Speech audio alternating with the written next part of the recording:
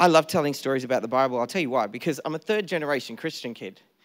And if I'm not looking for a show of hands, but you got to understand if you're a third generation Christian kid, sometimes, just sometimes, the Bible can be boring. You just got to understand until you realize that it's a moving narrative. It's not a static report, but a moving narrative. And so today, I hope you don't mind, I'm just going to tell some Bible stories.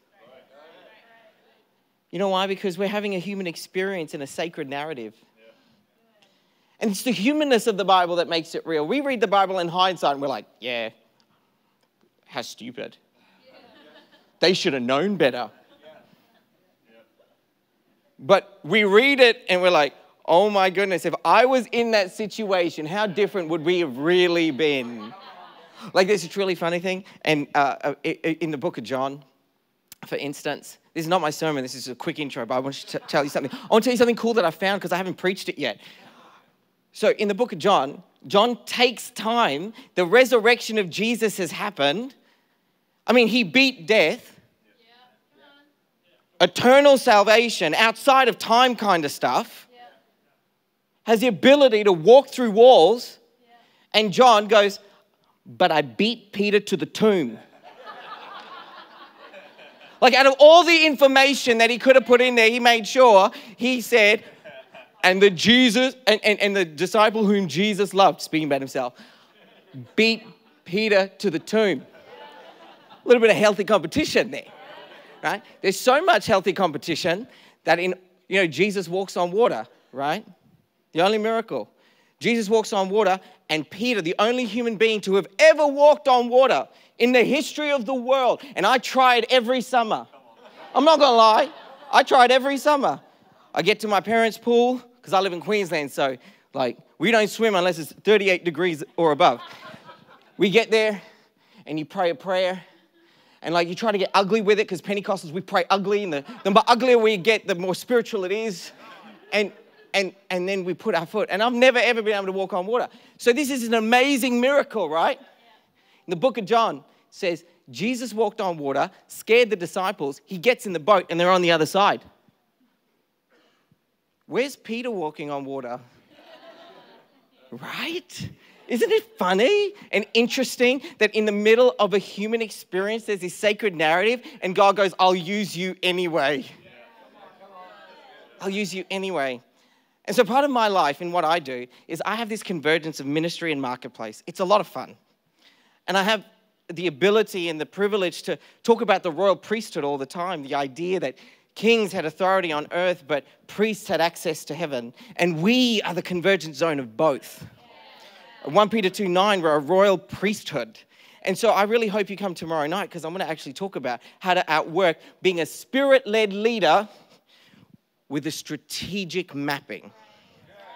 Because spirit led means this. If I'm spirit led first, because what does it say in Romans? That those uh, that are spirit led are the sons and daughters of God which means when I'm spirit led first before I'm strategic, I'm stepping into my identity before I'm talking into my purpose. Because who knows this? A gift is a great tool, but a horrible slave master. Because if you become gift addicted, you end up being addicted to something that's inferior to your design. And so today, I want to talk about two game changing moments of leaders in the Bible Moses and David, who were presence led before they were purpose driven. And I love purpose driven. You got to understand, I lead leaders into clarity, enabling them to bring heaven to earth every day of my life. That's my life. That's what I do. That's my purpose. And I love being purpose driven and I love the book. If anyone's watching, I like the book. I love the book. I love the teaching. However, there's a prequel to being purpose driven as being presence led. And so, can we go on that journey this morning? So, let's jump to Exodus 33 on the slide. If we go to the first slide, Exodus 33, this is what it says God has asked Moses to go and fulfill his purpose. And then he says this Then Moses said to him, If your presence does not go with us, Please do not send us up from here. How will anyone know that you are pleased with me and with your people unless you go with us? What else will distinguish me? The game changer isn't your purpose. The game changer isn't your plans. The game changer isn't your strategic mapping, even. The game changer is His presence. The game changer is presence. And you go, Andrew, how, what do you mean His presence? I mean, when you become aware of His presence, means I'm not praying a fancy prayer. I'm emptying my thoughts and my plans to say, God, I just want your presence. I'm just, I'm aware. And to the point of where you can be aware of His presence with every breath that you take. How will we be different from everybody else? It's not in your planning or programming, it's in His presence. How do you reach a community? It's in His presence. Are all those other things important? Yes and amen, but not if they are overshadowing His presence. Can we rewind? Because I see everything in movies, right? I'm one of those creative people that if you give me dot points, I'll get lost. But if you show me a storyboard, I'll learn. Like I'm just waiting for Quentin Tarantino to do a real version of the Bible movie. John Wick, kind of David and Goliath stories.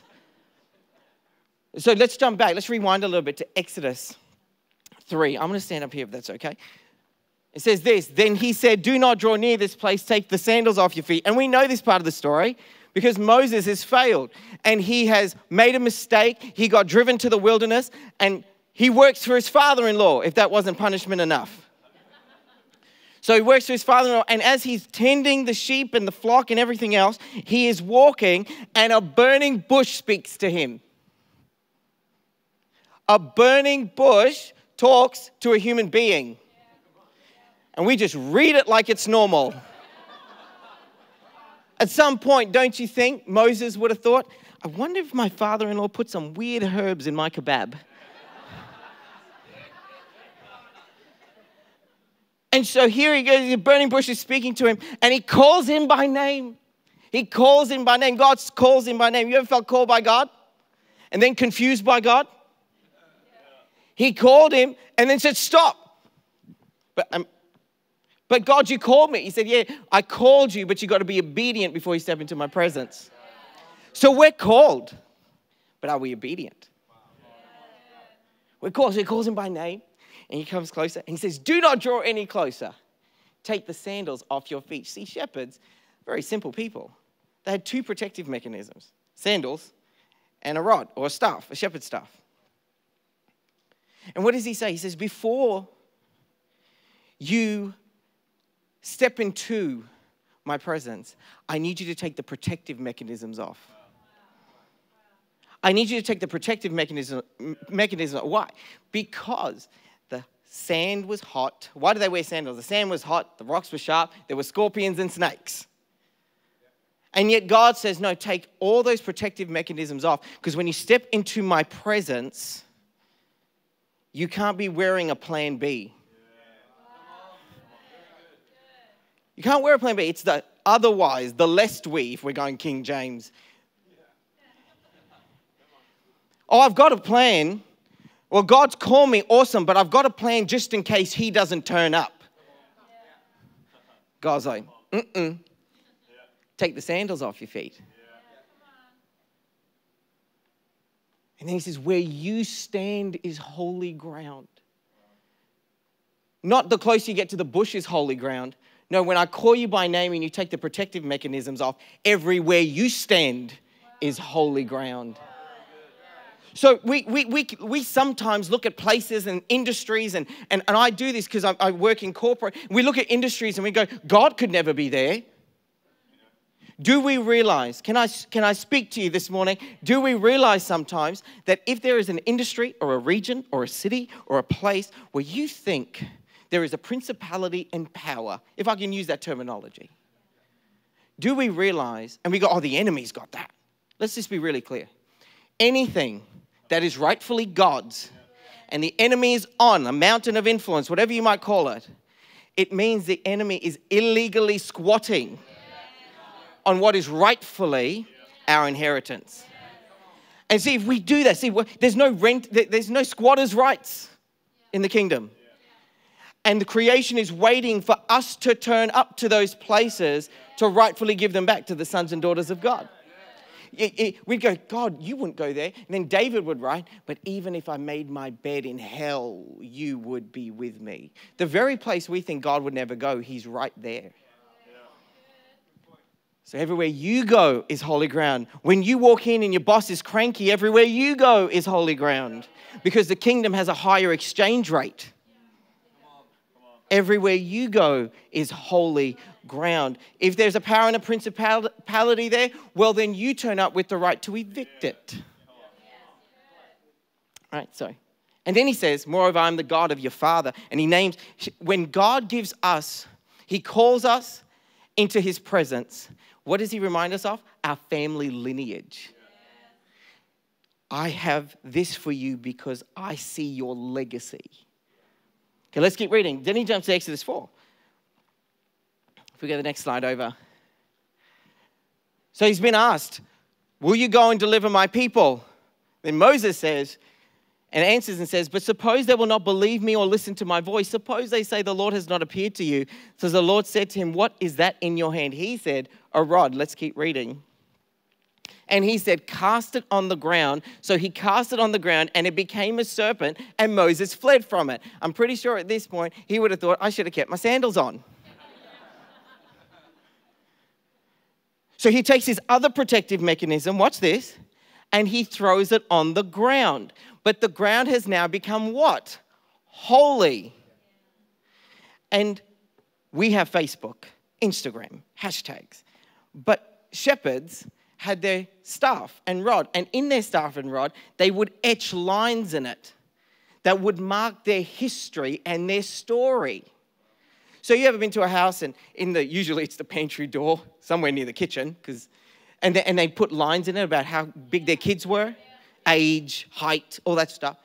Well, this was that. This this was that to them. You know, they would they would etch and, and Moses in his storyline had failure upon failure upon failure upon disqualification of why I could never be used by God. And what does God ask him to do? He goes, Take that old story and throw it on holy ground. And when he throws it on holy ground, now I'm going to use a term I don't use very often, but I have to for the sake of the story.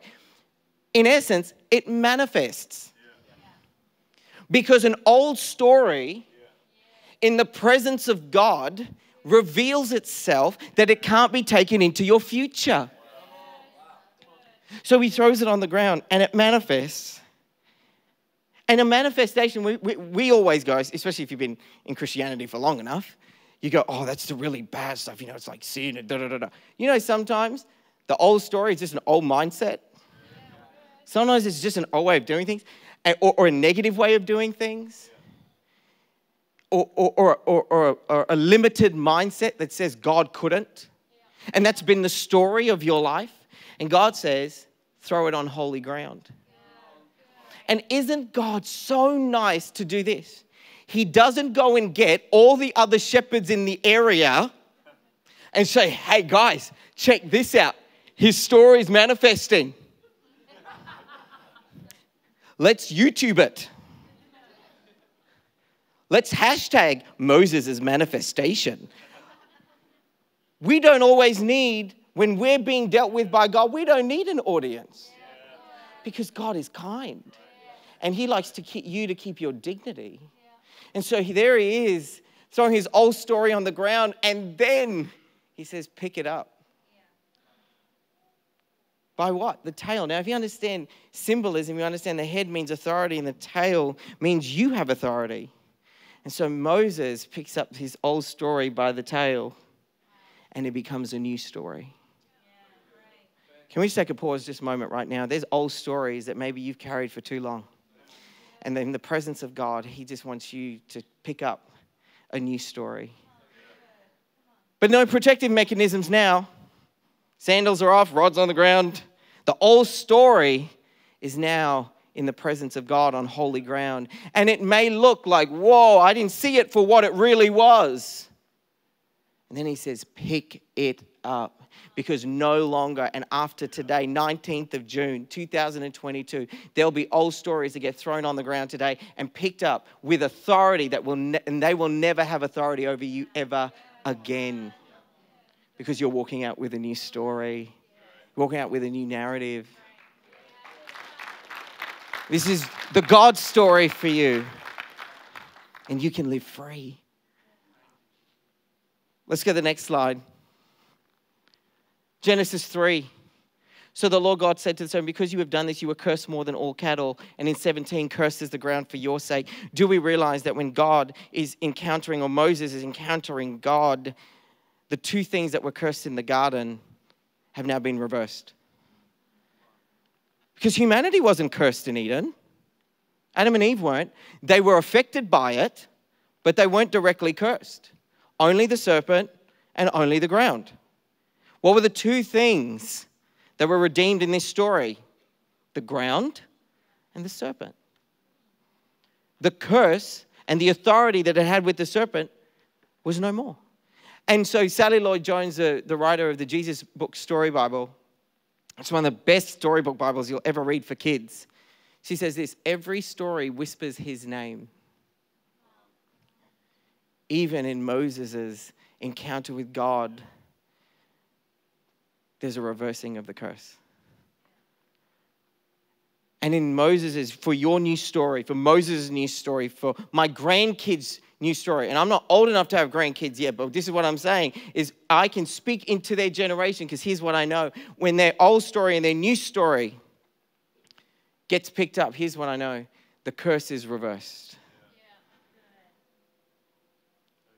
The redemption is always picked up through all of Scripture. And so Moses could walk out delivered because the curse was reversed. Let's go to the next slide. So you have to remove your protective mechanisms to experience the fullness of God's presence and your purpose. His story, Moses had to be delivered so that he could be a deliverer. In order to deliver people, you have to, in order to, to see the fullness of the kingdom of heaven in your world, Sometimes you've got to take our protective me- mechanisms off and throw our old stories on the ground in order to pick up the new story. And when you are willing to throw your old story onto holy ground, you will be given authority to write a new story. Before I jump to David, who wants a new story this morning? Okay, let's go to the next slide over and we start with David. But in order to understand David, you've got to understand King Saul. That's the context he was in. So here we're talking about Saul's dad, and he had a son whose name was Saul, a handsome young man. There was not a man among the people of Israel more handsome than he. From his shoulders upward, he was taller than any of the people. I love the Bible. I hate this verse. Why is good looking and tall in the same kind of description? My wife always said she wants to marry someone tall, dark, and handsome. Then she goes, Well, two out of three ain't bad. But if there was a bachelor Israel, King Saul, imagine being remembered for all of history. He was just really, really, really, really, really, really, really good looking. That's his story. Let's go to the next slide. And so here we have King Saul. They want a, they want a king. Israel wants a king. They want to be, this was almost their cry. We want to be like everybody else. What was Moses' cry? Lord, that your presence would go with us so we would be different from everybody else. And so the people go, We want to be like everybody else. So give us a king. So gives them a king. And it says this Samuel took a flask of oil. If you're bookmarking in your head, I want you to remember that a flask of oil. They took a flask of oil, a man made flask of oil. And then it says that he was anointed and poured on his head.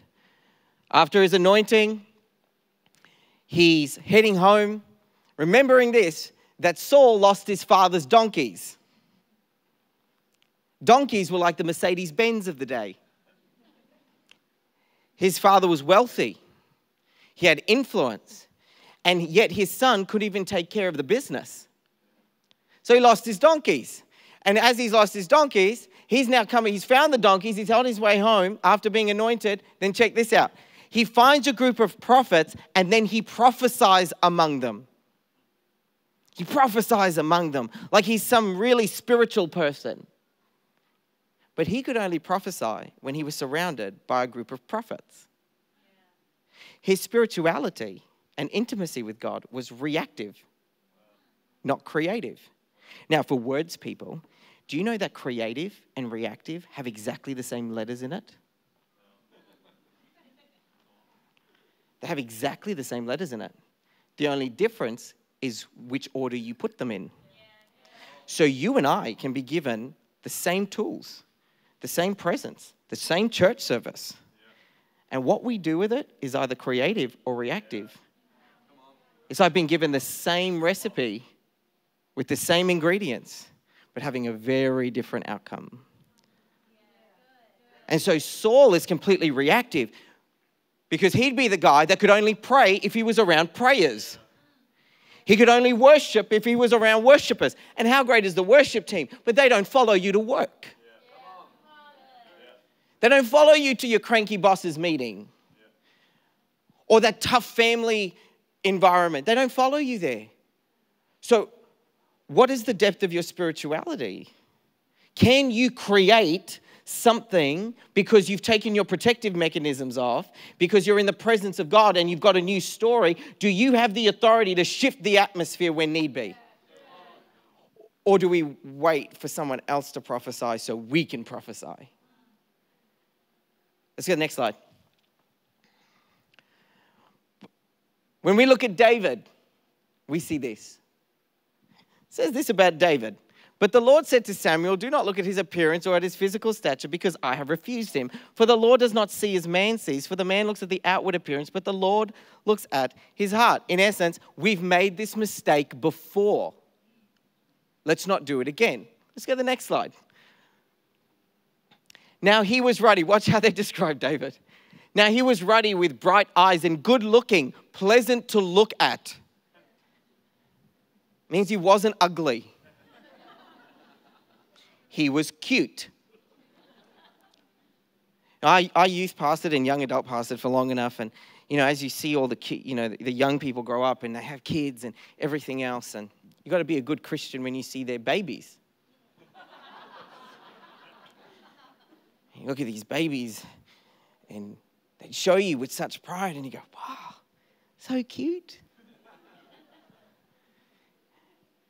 And Alison, my wife, would be like, You've got to stop saying they're cute. And I'm like, Why?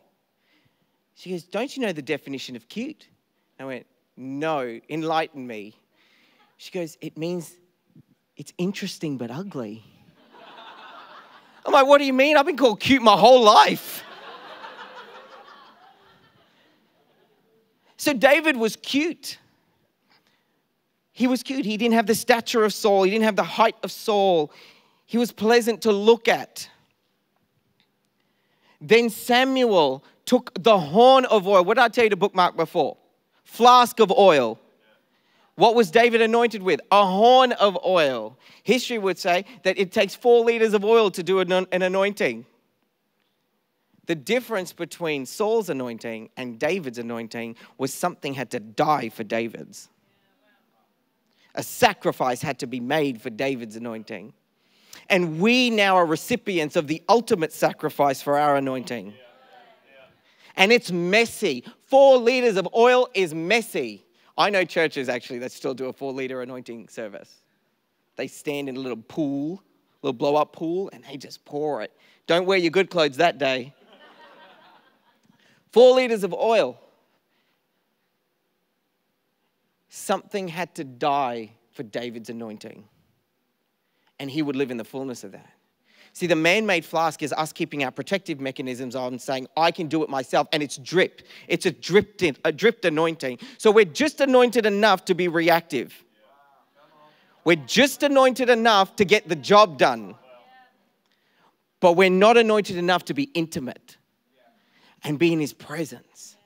And so I've got to get messy. Can I be honest with you? The anointing's messy. The anointing's messy. I'm telling you right now, and this is what I love about God, is I love to be in the place where He breaks the, you know, that He breaks the rules that He never made up. I like the idea that God breaks rules that He never made up. I want to be in agreement with that. And so there's this horn of oil, and David's dripping. And if we really understand the story, do you realize that David was anointed king And then he had to go back to his father's field dripping with oil. Can you imagine going back to the sheep pen dripping with oil, wondering and looking at your brothers going, Did, were, were you not there when I was anointed king? Isn't this below my pay grade?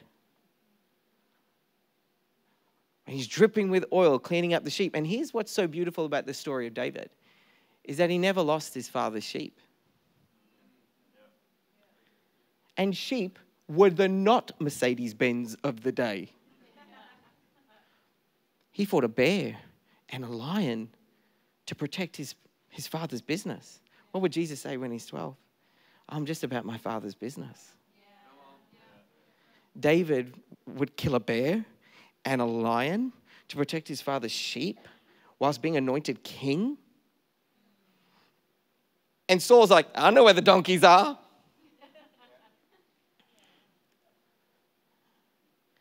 David knew how to be caretaker, a good steward of his father's business, even if it cost him his life, which made him the better king. If we get the next slide over, we have to ask ourselves what's the source of our anointing, a man made flask or a sacrificial horn? When you walk into your workplace, are you just, are you dripped on or are you dripping? When you touch the photocopy, it should be dripping with oil. Dripping with oil saying, whoever touches is going to be blessed. You feel the presence of God everywhere you go. Why? Because we live in a higher exchange rate. I'm pretty young for what I do in life. I just know that. Most people are taller than me and older than me. When I walk into corporate boardrooms, I've managed seven succession plans for churches. Most people have been reading the Bible for longer than I've been alive. And this is what I asked some of my mentors and close friends, just like Pastor Danny. I said, What do I do when I'm intimidated? You know what some of my closest fathers of the faith said to me? They said, You have the Holy Spirit. You should never be intimidated. Because He has the answers, not you. See, we, when we understand that, the one that holds all the answers to the questions you're afraid to answer lives in you, you're never intimidated because the exchange rate that we live in is higher than the face of the intimidation we're in. All right, all right, let's keep reading. I want to show you this and bring it to a close. See, Saul had the stature of a leader, but the spirit of a follower. But David had the stature of a follower, but the spirit of a leader.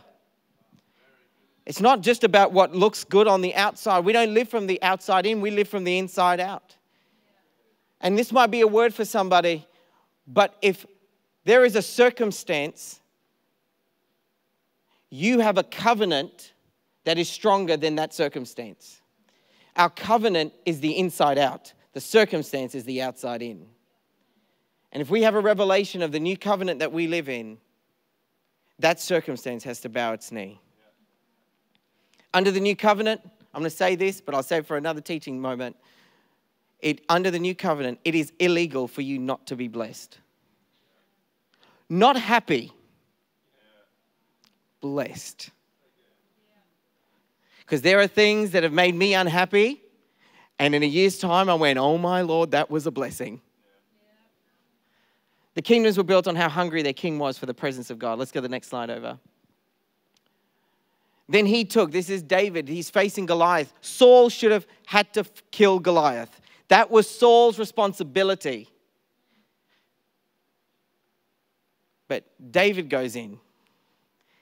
And what does he take down to the brook to get the five smooth stones? He takes his rod, his staff. Now, what was that staff? It was his story. It was his story. Do you know that David was anointed to be king, not fight Goliath? He was anointed to be king. He never actually had to fight Goliath. It might have been even easier if Goliath just killed Saul. Here's what David knew that being anointed king was his calling, that was where he was going. But Goliath was just going to get in the way. And sometimes when Goliaths get in the way, we've got to remember our new story. He killed a lion and he killed a bear, and now he was going to take Goliath.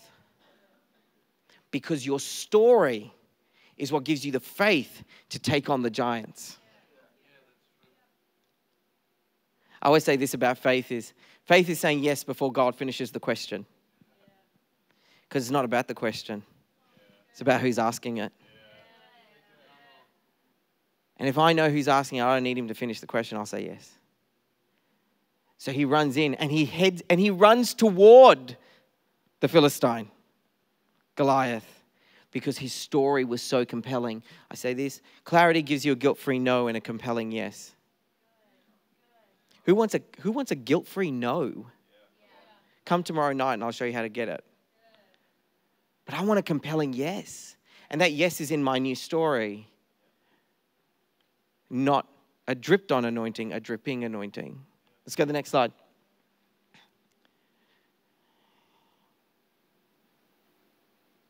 David would write in Psalm 23 Though I walk through the valley of the shadow of death, I will fear no evil, for you are with me. Your rod and your staff, they comfort me. I have never, ever, ever, on a bad day, decided to go behind my house, because I live near the bush in Queensland, to go behind my house and break off a big shepherd's crook, staff, rod thing, a tree branch, and take it to bed with me and give it a good old cuddle. Because I've had such a bad day, God.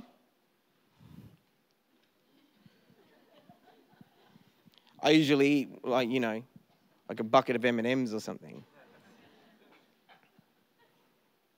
Give me my ice cream bucket. But David says, Though I walk through the valley of the shadow of death, the dark places, it's your rod and thy staff, they comfort me. What does he mean? He's saying, God, your story in the darkest places of my life, the story comforts me because I know I can get up tomorrow because of your story. And not the old story filled with failures. No, the new story that I picked up with authority. Let's go to the next slide. Do not, David fails. He messes up really badly. He's got money, he has power, he has a throne, he has a nation. And look at what he says. He says, Do not cast me away from your presence.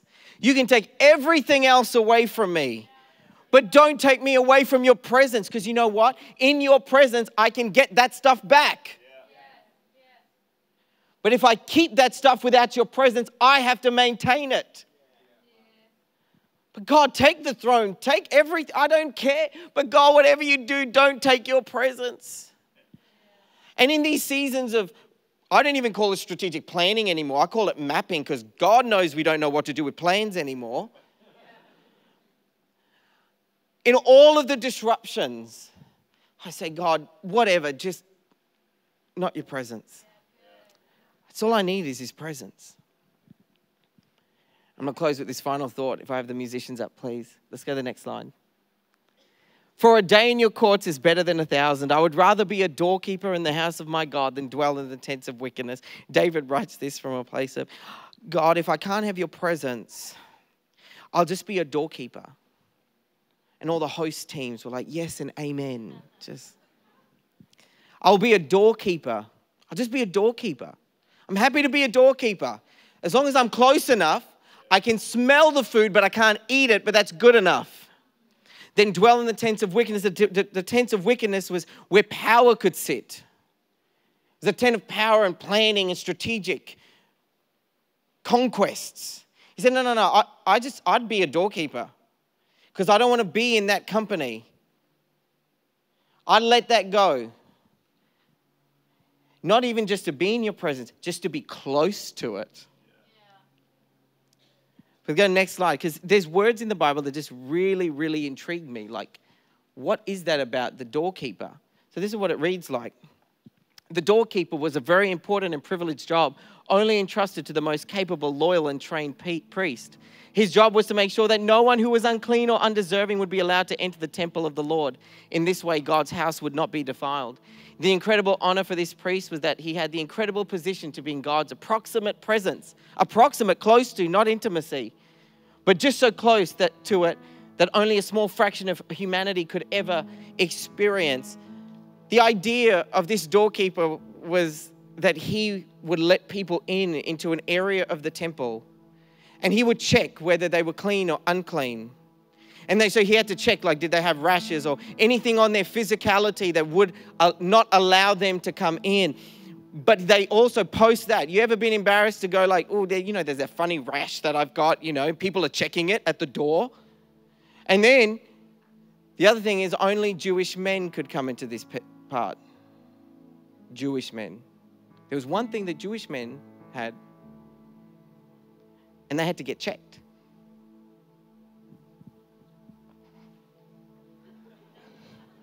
Next. It's not like you could have photo ID.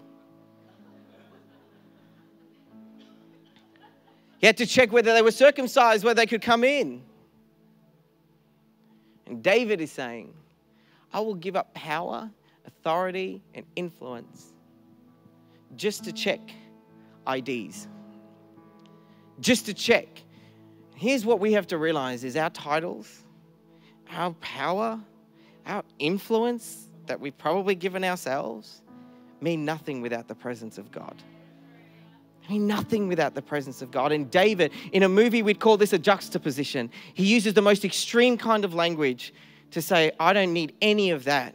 And I would do that job just to be close. Just to be close. Would you stand up to your feet and let me pray for you this morning? I appreciate you all so, so much to allow me to speak into your life. I hope that today you will be able to remove the protective mechanisms that maybe you hold. And that you step into the presence of God free to pick up a new story with a fresh authority. And do not let that old story define you. But love the presence so much that there's no title, nor power, nor influence that can ever make you value that more than the presence of God. Would you close your eyes and just raise your hands real quick? Father, right now, we just come before you because you are a good, good Father, and we are so grateful to you. We thank you that you call us by name and then protect us when we're vulnerable. And that we can take our old story with dignity and throw it on holy ground and then pick up a new story in you that allows us to face our Goliaths, that allows us to face whatever challenges we have because we're dripping with oil and so everywhere we go, we bring the presence of God because everywhere we go becomes holy ground. And may your presence be everything that we want because, God, we want to be presence led before we are purpose driven.